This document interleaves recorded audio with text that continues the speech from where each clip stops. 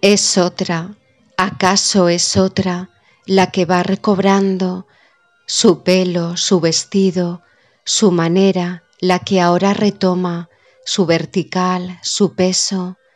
y después de sesiones lujuriosas y tiernas, se sale por la puerta entera y pura